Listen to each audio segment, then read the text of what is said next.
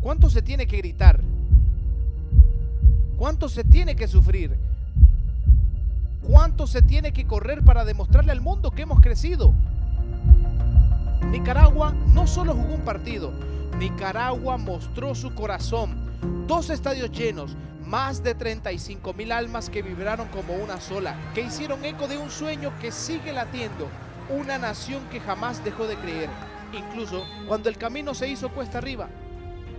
Queremos darte las gracias a vos que no dejaste de gritar ni un segundo, que viviste cada jugada como si fuera la última, a vos que levantaste la voz cuando las fuerzas parecían flaquear, que llevaste en alto el orgullo de un país entero. Mientras otros jugaban, nosotros peleábamos. Cada pase, cada barrida, cada gota de sudor fue una batalla, porque para nosotros el fútbol no es solo un juego, es la pasión que une a un pueblo. Hoy no logramos el pase, pero salimos del campo con la cabeza en alto. Hoy no fue el final de un sueño, sino la confirmación de que seguimos de pie, listo para seguir luchando.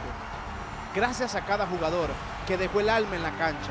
Gracias a la afición que nunca dejó de creer, que hizo de cada aliento una promesa de esperanza. Gracias a los patrocinadores, a los que trabajan tras bambalinas y a todos los que hacen esto posible. No clasificamos esta vez, pero no perdimos, porque no se pierde cuando se deja todo en el campo, cuando se juega con el corazón. Marzo nos espera y con él una nueva oportunidad, porque no se trata solo de ganar, se trata de demostrar quiénes somos.